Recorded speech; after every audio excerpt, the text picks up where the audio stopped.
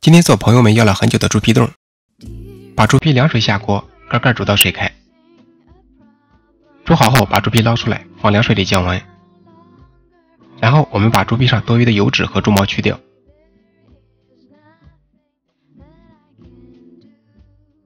把猪皮切成小条。切好以后放温水里，加一小勺小苏打，把猪皮洗干净。猪皮不洗干净有很大的腥味儿。小苏打可以有效去除猪皮上的腥味和油脂，有很多油脂和脏水已经被洗下来了。然后把猪皮捞出来，继续清洗，直到洗到我们认为干净为止。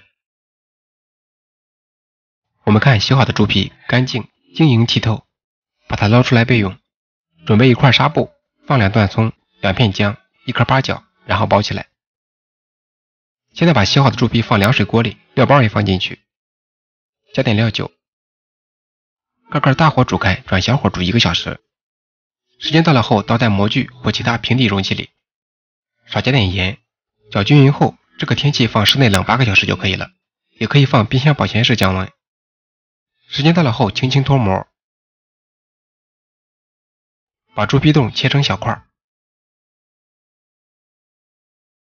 我们看一下，晶莹透亮，非常 Q 弹，满满的胶原蛋白，女性朋友吃了非常好。我们给它装盘。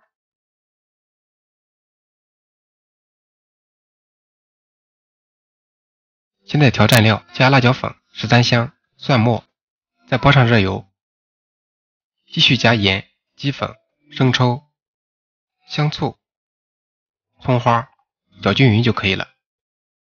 这样猪皮冻就做好了。石头美食，天天美食，我是石头。喜欢的朋友记得帮石头点个赞，也欢迎评论留下你喜欢的美食名称，下个视频可能就是你想要的。